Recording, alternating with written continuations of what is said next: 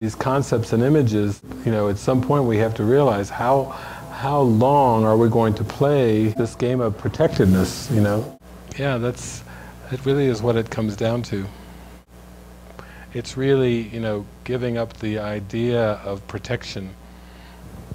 I mean, I know this is another one of those concepts that gets used because people are telling me, you know, oh, David, there are many, many angels around protecting us, and da da da da. And then, you know, at some point, you just have to question this whole idea of protection. Like, who's getting protected?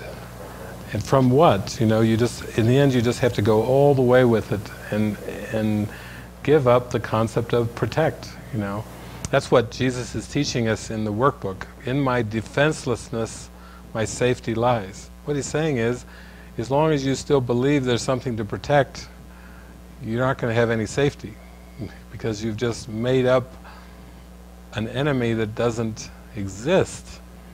If you're going to tr constantly try to protect yourself from this enemy, wherever you project this enemy to be, you know, it's, it's, you're not going to have peace of mind and believe in protectiveness. So, in the end, you know, protective angels and, you know, um, okay, I'm going to put the ball of gold light around you, and you know, this will shield you from the evil things and this and this, and you know, eventually, I had to start to question the whole idea of evil entities and evil. You know, uh, oh, my first girlfriend, she just, oh, she got on Facebook one day. I, mean, I haven't talked to her for 10 years or anything. She goes, there is evil. You know, what's this? You know, it's like, after 10 years, you just still, what? It's this thing of that there's somehow there's something called evil that, that you that's real, you know, and, and yet the whole teachings, if you follow them in, nothing real can be threatened, nothing unreal exists. Herein lies the peace of God. You know, you really, in the end, that's what you're going to have to face. It's just this very idea that there's something other than God. You know, it's, it's pretty preposterous when you really start to to see it. Where would, if God is all, then where is some God supposed to come from? If God is the source and the source of all, then where exactly does this ego come from? Where does evil come from? I love that part in the Course, you know, what is the ego, what the darkness was, where is it now? Nowhere. What is it now? Nothing. You know, it's described only in words in past terms just as like a to expose it. But then you get down there to the to the man teacher's manual and he's like saying okay now it's time to let's get straight about this you're going to have to to really see the nothingness of this you know? We just gave it words so you could bring it up to awareness during your mind training but but we have to get to a point where you know you start to see it's unequivocal. It can't be both ways. Uh, what was that word that Mary Baker Eddy used one time?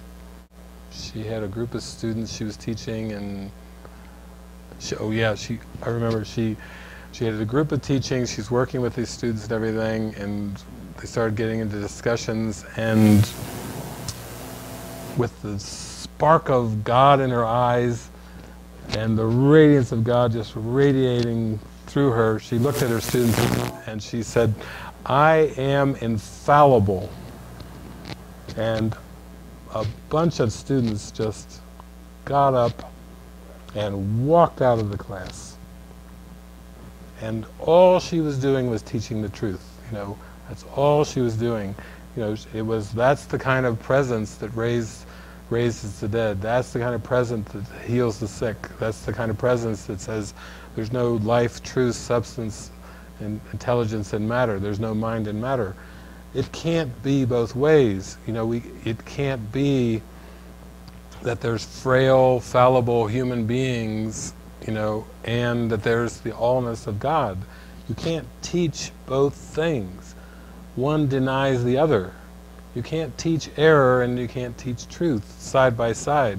You can't mix error with truth. When Jesus is saying the truth is true and only the truth is true, it's so beautiful. And really, when when we're saying about the only lesson is that you're the dreamer of the dream, it's it's really beautiful uh, to start to really begin to open yourself and practice that one lesson. You know, really start to rivet your mind on that. Like really tell yourself, okay, this is this is what I want to be shown. Remember, that's what I enjoyed about China. I go over, I don't know how many billion people are there. We don't even know. Billions of people, I don't know, in China. But there was this one over there that when I did a one-on-one -on -one with her, she was starting to hone in. I could feel it in her mind where she was like saying, seeing that this the only lesson I need to, she was voicing it to me, uh, the only lesson I need to learn is that I'm the dreamer of the dream. It was precious to hear that reflected back, you know, a, it goes so far beyond the, the teachings of philosophy and psychology and metaphysics and so on and so forth. It's just refreshing, you know, beautiful even to hear such a thing because it's it's it brought tears to my eyes even even having that experience because I said yes yes now just focus on that. Just really zoom in on that. Make that your daily practice you know. Really give your mind over to that. And she was the one that started showing up as like we call it like the sannyasi at some of our events because she didn't have money she couldn't afford to come she couldn't pay to come in and they had people guarding her from coming in, but she still found a way just to pray and come back to, I'm the dreamer, I'm the dreamer. Still found a way to make it through, you know, to how many of our gatherings? Six out of six. Yeah, even though there were people watching to make sure she wouldn't make it, you know, through the gates. But that's the kind of, that's what you're trying to do here is, you know, that's something you can focus on. Really give yourself over to it. It's like people, why did people even try to climb Mount Everest? Why do people even try it? Because it's the, on earth it's the highest mountain.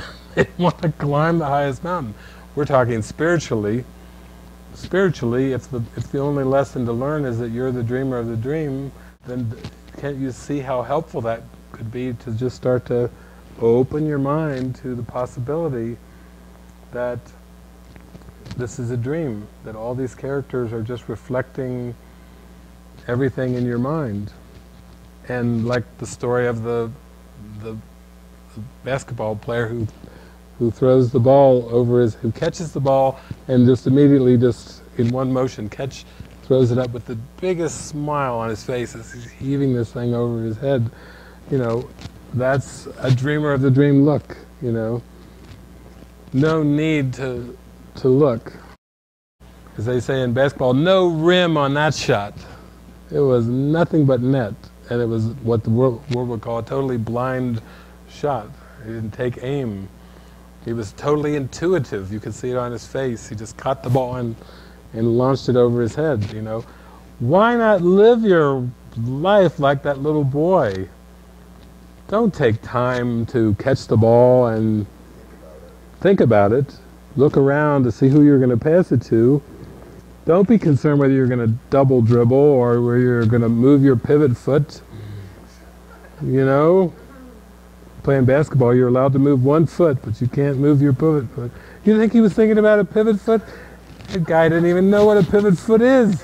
He just, he took the shot. He took the ball and he flung the thing with a great glee on his face. And, and make it be that quick. You know, the alternative is to get into one of these basketball games. You've got to dribble, and you've got to pass the ball around and pass. Look for your open teammate. You got to set picks. You know what a pick is? You got to block. You got to pick. You got to you got to take a sh shot from somebody else in the other team so that somebody can get free. You got to set picks, and you know you got to do all these things and it's just so much work, the a game of basketball. And you got to run, run like like your antelopes or something. Run. I played basketball. Run. I coached kids too that age. Yeah, it just was what a forgiveness lesson. It just totally, I, I have no control over the world I see. You know, you coach a kids basketball team, you, you draw it out and everything, and but they, they, they believed in me. I believed in them. You know, we developed some kind of a, a thing and, you know, went all the way to the championship game one year. But, but it was like, it was still a lot of work. And, and when I look at this kid that just catches the ball and throws it over his head, I know I think, now that's the way to, that's the way to play basketball. You know, because it's totally in the flow of the moment. There was no thought with it at all. There was no analysis to it. There was just, it was just totally given. We can actually live our lives that way. Ego doesn't like this. It's too simple. It's getting too simple. And it's like, no, no, stop.